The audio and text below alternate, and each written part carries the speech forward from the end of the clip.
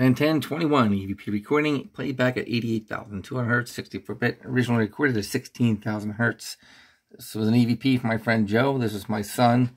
It's the first time I spoke out. I said my son's name, Jeremy. That's all I did.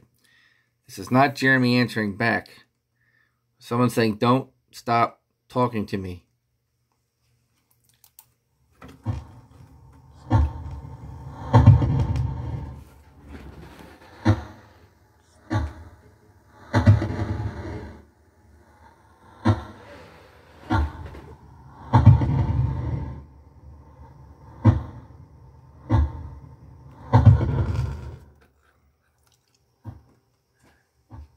At this frequency elevation and speed, my voice is very, very slow.